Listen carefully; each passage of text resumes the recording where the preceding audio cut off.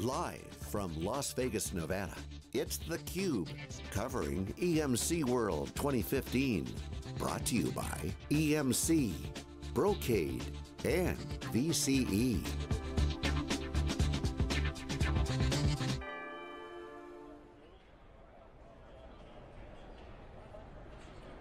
Back to the Cube. Cube has been called Eagle ESPN TV's of live continuous coverage from EMC World 2015 here in Las Vegas. I'm Stu Miniman, joined with my co-host Steve Chambers. We're with Wikibon. Find all of our research on wikibon.com. Uh, having a regular back on the Cube, Jack Rondoni, uh, who A is regular. the VP of Storage Networking. That's uh, right. Of course, uh, you know, talking storage at EMC World. So, Yeah. Jack, welcome back. Thank you. It's great to be here, Stu. I'm, I'm glad to see I'm a regular now. That's awesome. A- Absolutely. I'm moving up in the world. So uh, we're, we're going to take a little bit of a different, uh, you know, uh, you know, interview with you this time. We, we've talked a lot about traditionally storage networking. Many people equate to fiber channel. That's right. And of course, Brocade's the industry leader in fiber channel. Fiber channel's doing great, but we're going to kind of put that aside for this interview and talk a little bit about the IP networking to start with, some of the flash storage that's doing there. Um, so, you know, introduce us to, you know, what is IP storage network? I mean, isn't IP just IP? Yeah. So so it's uh, that and that is the question, right? Because for the last 15 years, that was the story, right? So and and and you hit the you, you hit the nail on the head in the sense that I would say in the past, the last 10, 15 years, if you had something that was important, you put it on fiber channel. And it's going to stay in fiber channel, it's going to continue to go along, we're all happy about that.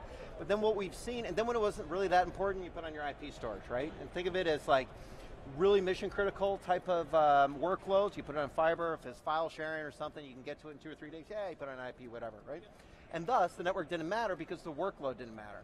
So the change now, what we're seeing, Stu, more and more, is that people are putting, you know, high scale uh, uh, VM stores, they're putting analytics, and those are, are um, workloads that are being driven, apps that are purely really for IP types of storage.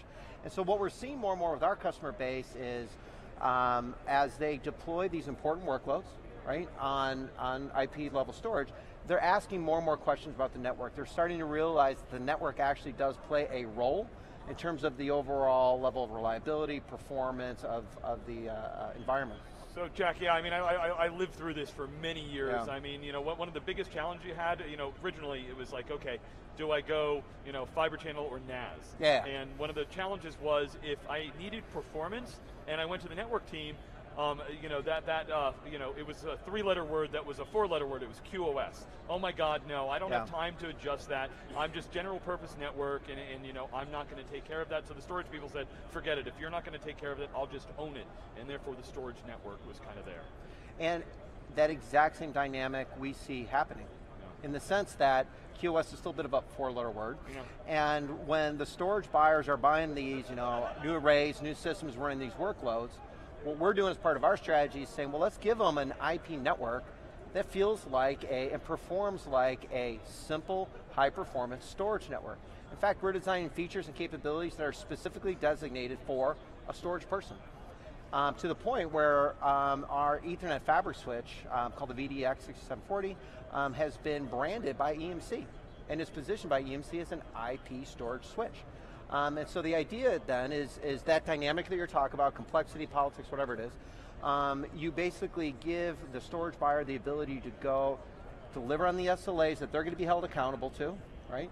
And do it within an environment that they don't have to learn protocol exotica. Like if you ever look at Ethernet data sheet, and we make big, beautiful Ethernet switches, right? So don't get me wrong. But you know, they, they, Ethernet needs to do so much. You know, storage, you know, fiber channel is relatively simple because that's really all it does. And so our IP storage. Um, I'm sorry, Jack. Did you just say that fiber channel is pretty simple? Relatively speaking, absolutely. Yeah, I, I mean, you know, so I mean, how do you answer the question? I mean, we weren't going to talk about fiber channel, Yeah. but you know, the, the the general commentary in the industry is that fiber channels, this dark art that storage people do. Um, it's not like, oh well, you know, Ethernet's simple. Ethernet's everywhere. It's ubiquitous. Is that just not true? If you want to do a couple ports at you know five terabytes, you can do whatever you want. But you want to be a petabyte scale, complexity um, and variance leads to stability issues, leads to all these problems. Fiber channel, from a protocol perspective, is very, very lightweight. just because it has a, a single purpose really. All right, Steve, Um, Steve, Steve, you want to chime in on any of that? What, what, what's, what's your thoughts? Well, I mean, I think about you know the times when I've had to do zoning and uh, Yeah. you know, Yeah. we've been talking. And they're today- perfect, right? We've, we've been talking today about performance, and you know Sure. immediately you think IOPS and things like that, but increasingly we've heard from customers today that performance for them is the time it takes them to actually get something done. Absolutely. And I think once fiber channels in place, then yeah, Yeah. I get it right. But I think I think what what Stu's referring to is you know I think there's an impression that Ethernet's completely different. You just plug it in and away you go. But I think you're saying there's a little bit more. No, you know, it, it is, and, and I think again, when the workloads are important, you're doing it high performance and high scale. The Yeah. network matters fundamentally. I mean, that's Yeah. our the network does matter, and what we're doing then is with our Ethernet fabric technology is is building the feature sets, right? Yeah. So you maintain that level of agility that you expect from Ethernet, but then you get the performance and the scale and some of the automation that you expect, right, specifically for storage types of workloads. Um, and we're seeing good traction in the market with this. Um, you know, EMC is a partner. You know, they're branding it um, uh, Connectrix IP switch, Yep. our IP storage switch, and so we're very excited about that in terms of our position within the market to not only you know build upon our fiber channel heritage, um, but you know address you know file-based solutions, even based you know object, right? Yeah. Um, you know some large object clusters we're looking at, as well as even hyper hyper converged infrastructure type of solutions Right. there, right? Because Yeah. you get to larger scale, the network starts playing a more and more important role. So it's very exciting for us. And by the way, the way we're attacking this too, um, so Steve, it's not just with a single product. Yeah. So we're coming in with a, uh, we announced last week a disaster recovery business continuity solution qualified for large scale IP storage environments, right? We already did that in fiber for years.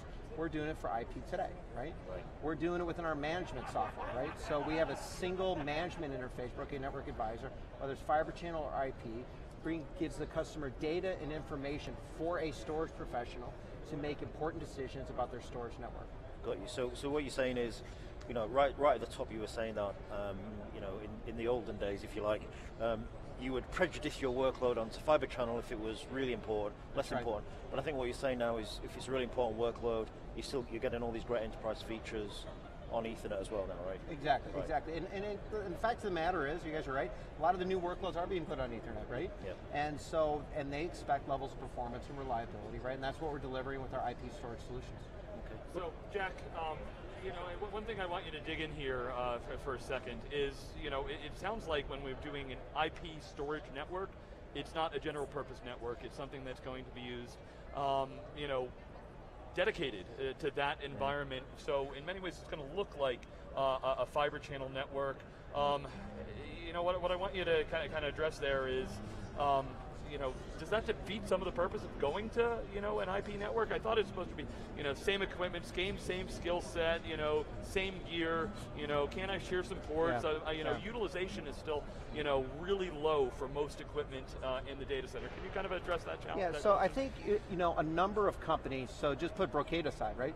There's about you know 10, 15 companies that we've seen out there, device manufacturing workload, that say basically if you're running certain levels of scale and I/O, that a dedicated IP network is the best practice. So it is the best practice in the industry. We talk to analysts, we talk to big customers. Like we've been doing that for a long time, right? Yeah, yeah, Uh, absolutely. In iSCSI, that was like the way we did it Absolutely. going forward. But we can't get beyond that. It's you know architecturally, there's not something uh, that, that we can do. So, so no, no. So, so we're there, right? Yeah. So you say now, once you're separate, then the question is, is what does that network look like, right? Does it need to be a, you know, support VPLS, MPLS, and, and broadcast, multicast, you know, all these types of things? Absolutely. I mean, uh, there's a number of those capabilities within our VDX, that an Ethernet switch is an Ethernet switch. But what we're adding onto that are specific storage-related capabilities, right? And um, Fabric Vision, for example, is a uh, deep instrumentation level of service that we brought in Fiber Channel. We're bringing that over to our IP network. The only people that could appreciate that are actually storage people, right? Really what it comes down to. So yeah, it's an Ethernet switch. It'll do your Ethernet, you know, core stuff. Um, but then the built-in multipath and the built-in management, you know, we think has a special appeal for um, storage professionals. So, you know, we, we saw a really interesting keynote this morning. You know, the beast was unleashed today, right? You Yeah. know, the, and the performance figures were astounding. And we've heard Yeah. from some customers today that it just changes the whole equation for them. You know, Yeah. um, you know, uh, I think Stu's already uh, said to a few people, is performance no longer? It's no longer. It just takes it off the table, right? Yeah. But one of the things that stood out to me this morning when we saw the keynote was, you know, you need to keep feeding the beast. And I think, well, if you've sold performance there and this thing is so hungry for data, then is it going to change your network architecture to get to it, or can you just plug it into the same old thing you had? You know, do you, you know, is there, do you need new features? Is, you know, do you see a different architecture required to have an all-flash array at the end? You know, how does it affect Yeah. you guys? So for us on the fiber side, so most of the connections we've seen coming out of the, the uh, all flash arrays have been fiber channel. Right. Um, and you know our our fiber channel products are very low latency. We measure in hundreds of nanoseconds type of stuff. So it's really those are kind of peas in a pod there, you know, in Right. terms of the perspective being able to handle it. What we do now is we're adding just more of that instrumentation, like I'm saying, to make sure that you can bring these all flash arrays into a shared SAN and not affect anything else, as well as get the performance you Could be one hell of a noisy neighbor, right? Yeah, no, right, right. So, so that's where we add that deep instrumentation, right? And then on the VDX fabric side, one of the key things we're doing a couple things is beyond that deep storage-related instrumentation, we have very low latency as well, you know, hundreds of nanoseconds type of, of capability. And then also we have the ability to go in and take buffers that are associated with a number of ports, pull them together and get a little bit more of a kind of performance optimized for large packet kind of storage workloads, right? That plays well also within our uh, uh, the, the flash environment. So. So it's interesting because you know for, for way too many years we were arguing over you know how much bandwidth I could get for fiber channel versus Ethernet. It's Yeah, like right. two force, you know, eight, 16 Yeah, yeah. versus 10, you know eight, one to yeah, yeah. 10 to 40 to 25 or things like that. Um, latency is you know something that you know fiber channels had great latency for Yeah, years. absolutely. Um, can you talk on the Ethernet side? You know, what, what, what are you guys seeing? What are you driving? I mean, uh, things like RoCE and iWarp are coming up in a lot of conversations. Um, you know, so so obviously Ethernet's doing there. What, what's what's Brocade's positioning? Yeah, so from a pure side? switching latency perspective, like I said, we're in very good shape, right? We're hundreds of nanoseconds type of switching. And, and InfiniBand's always been kind of in that area of ultra low latency, and then it's got the benefits of the RDMA capabilities Yeah. and stuff. And I used to work in our InfiniBand a long time ago, right? Um, when it was going to take over the whole kind of, you know, PCI world, parallel PCI, right? So, um, 3GIO, right? Yeah, was, uh, yeah, exactly, exactly. And then Hypertransport came out, and Yep. everybody freaked out and Yep. stuff. Uh, so, um, you know, I, I think what we're going to see with iWarp and RoCE is really take a run at InfiniBand in terms of kind of where it's been able to go and be that kind of back-end clustered kind of interconnect. Um, and so that's really where we see that making probably the most inroads overall because it's combining not just the latency but all the, the offload type of capabilities as well. So we, spoke to a customer um, uh, from Australia, and he, he told a great story about having dual data centers. Yeah. um, using your technology, um, Ethernet, and you know EMC technologies to have two hot data centers, and he can just shut one down, and the workloads are always moving between them. Doesn't have to do DR anymore. Is there anything specific in your switches that enable that? That's, I guess that's the first question. The second one is, do you see that happening a lot? I think he said he was the first customer in Australia to do it. I mean, it just sounds so appealing to me, right? Take that headache of DR away. Yeah. Know? So, and it sounds like you were a key part of that. Yeah, so so we have a couple of capabilities in that front, and what we announced last week was, so we build a data replication fabric that's really built for heavy duty storage, and we do a number of things that optimize those connection between the data centers for large scale storage. We optimize the TCP windows over storage. We add uh, multi-pathing, uh, or excuse, excuse me, failover um, and load balancing into the WAN links, which are notoriously unreliable, Right, right? okay. Um, and then we even add, add some uh, kind of WAN testing optimization so you can test your apps when you lose some WAN links and kind of see how they perform, Oh, that's right? interesting. And so the interesting thing is, and we're doing that both for fiber and IP. That's why I'm very clear to say, you know, I'm the storage networking person, right? I'm the fiber channel networking guy. Yeah. Um, And so that kind of capability gives those customers that ability to go handle it. And the important part is you handle it at scale. Yeah. Because if you're doing it, you know, at large scale, that's when that stuff really you don't want it to be fragile, right? I'm sorry? You don't want it to be fragile. You want it Right. to be reliable. You want it to do it, as you say, at Yeah. scale. We deal with mission critical, business critical type of environments, right? Um, that, that, that, that's where we, you know, that, that, that's our forte. All right, so Jack, to, to close the interview, you Yeah. know, here at EMC World, uh, you talk a little bit about e- how EMC has been getting involved in the IP storage networking piece uh, with, with Brocade. Absolutely. So, of course, you know, via, you know, uh, EMC is a leader with VNX, XtremIO, Isilon, data. I mean, you name it, right? Um, it's even Scale.io, right? I mean, that's an Ethernet solution, you know, uh, for software-defined storage.